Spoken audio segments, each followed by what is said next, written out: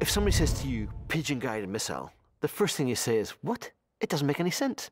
Pigeons come home. Wrong place for a missile. But genius sees things differently. At the height of World War II, the Allies needed a guidance system that could target enemy warships. They found the answer in Harvard, and it was truly weird.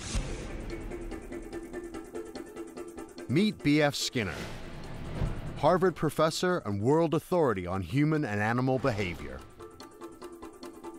B.F. Skinner was one of the great minds in psychology.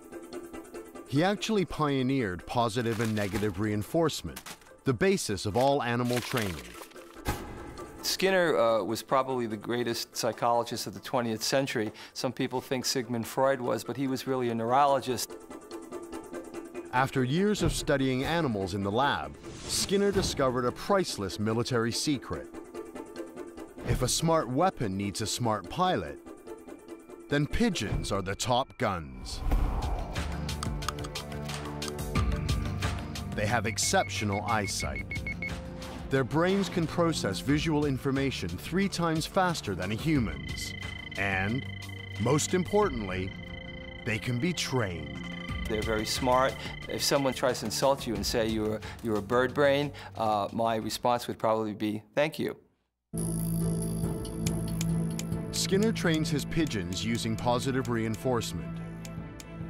If it makes the right response, like pecking when it's told to, the pigeon gets a reward. Using this method, he trains them to complete incredibly complex tasks. He even teaches them to play ping pong.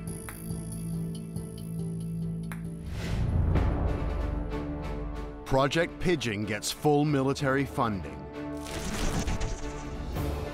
And Skinner comes up with a groundbreaking missile design.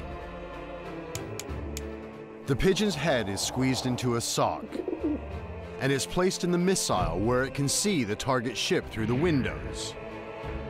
When the missile goes off course, the pigeon pecks at the target ship. The pecking controls the tail fins, bringing the missile back on target.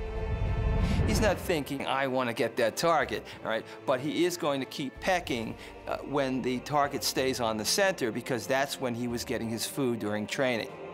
A metal conductor was attached to the bird's beak to transmit its pecks to the guidance system.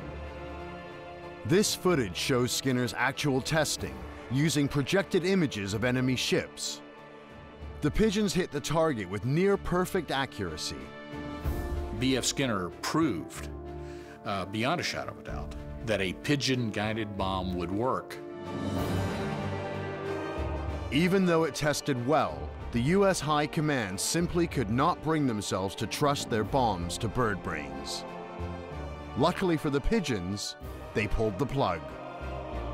The super psychologist was ultimately stymied by a simple lack of trust. Wouldn't you love to see it? Imagine taking out the enemy with a pigeon. That's gotta be worth seeing.